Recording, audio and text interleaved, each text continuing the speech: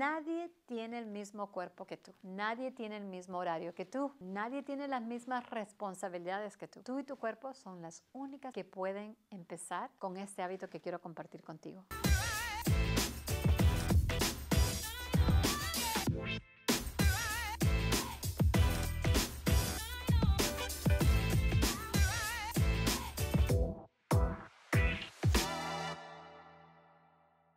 Hola querida mujer victoriosa, te saludo en este mes de abril, donde muchas de nosotras, dependiendo de dónde vivas, ya estamos a punto de celebrar el verano o nos estamos preparando para el verano y los estudios reflejan que la mayoría de nosotras dice, la ropa de baño, tiene que quedarme esa ropa de baño.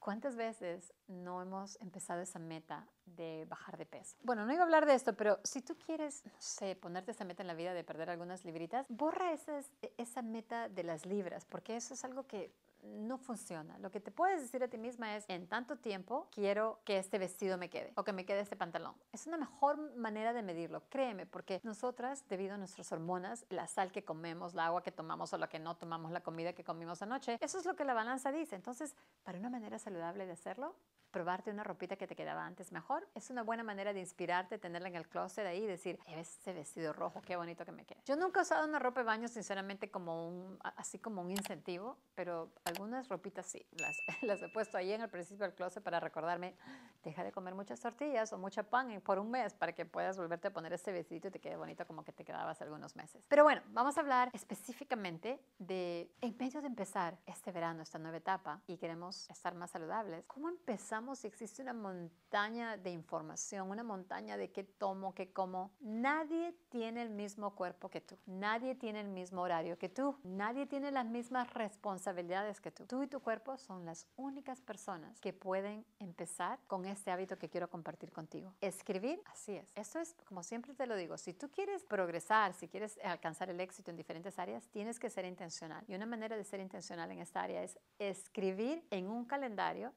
en un calendario con tus propias manos. Nada perfecto, solamente así cuadritos con números y en cada uno de esos cuadritos tú te pones, por ejemplo, el hábito de escribir una palabra al día. Puede ser una sonrisa grande, una sonrisa pequeña, algo que te indique a ti que ese día te sientes victoriosa porque cumpliste con ser más saludable. Nada más. Claro que tienes que revisar tus metas inteligentes, ¿no? De SMART Goals, que bajo que hemos hablado aquí en Mujeres Victoriosas. En el libro Mujeres Victoriosas, en el libro Mujeres Victoriosas combatiendo la ansiedad, te hablo de la importancia de las metas. Pero hoy no quiero hablarte de algo tan grande porque, como te digo, empezar a cumplir algo como cuidar de nosotras mismas puede ser hasta un dolor de cabeza. Y no queremos, yo no quiero que eso sea un dolor de cabeza para ti. Quiero que sea como un sueño que sí puedes cumplir porque te vas a dar una meta. Y el único hábito, el único hábito que te reto a tomar es dibujar ese calendario con las fechas y escribas una palabra, cómo te sientes. Porque cuando tú terminas ese mes y tú ves ese calendario y ves, ¡Ah! mira, tres, cuatro, cinco días del mes puede ser completamente saludable y tú eres la única que vas a saber qué significó eso. Que tomaste tu agüita, que hiciste ejercicio, que tal vez ese día te comiste una ensalada. Nadie puede interpretar tu calendario, tú eres la única que puedes. Pero cuéntame aquí en los comentarios, dale un like, tal vez este mensaje, compártelo con tus amigas, tus familiares, para que todas nos recordemos a las unas con las otras. Que sí, el verano se viene, que sí, la ropa de baño, los shortcitos, la ropita que nos queremos poner para la playa, es algo que todas queremos gozar de poder hacer eso. Pero más importante que esto debe ser nuestra salud y de empezar a conocer nuestros cuerpos. Y si tú dibujas ese calendario poniéndote una palabra al día, al final del mes vas a decir, wow, el lunes me sentí de esta manera, el martes me sentí de esta manera, el miércoles.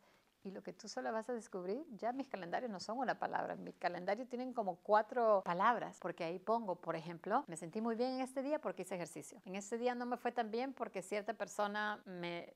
no menciona nada más.